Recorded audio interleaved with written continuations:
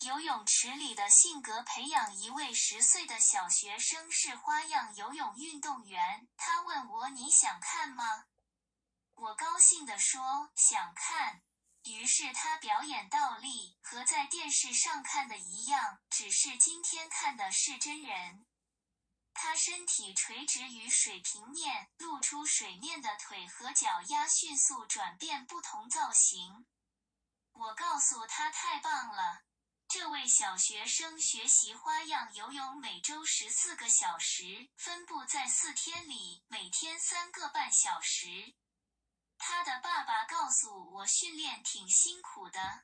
他说他对两个孩子主要注意性格培养。他说：“科学知识，比如一个软件学会了，过一段时间更新了，需要学更新的。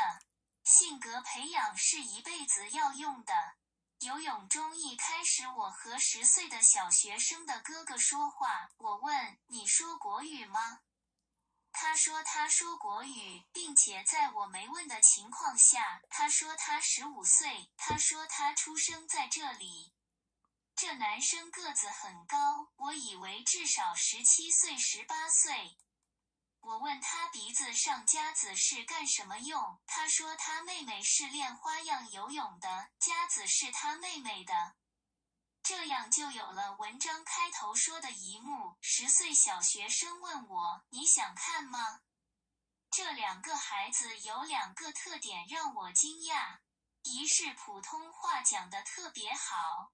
我认识的在这出生的孩子很多是不太讲中文。二是我问一，他们不仅回答一，还说二三四五，还说六，说七，说更多。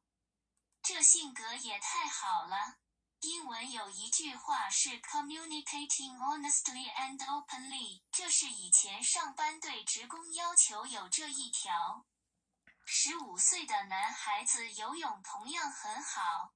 两个孩子各种泳姿都是娴熟，力量、速度太棒了，朝气蓬勃，给人激励。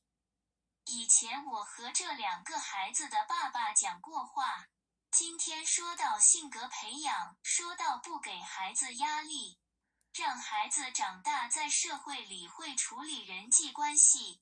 这两个孩子的爸爸的话让我耳目一新，想想真是要让孩子健康快乐成长，性格培养不能忽视。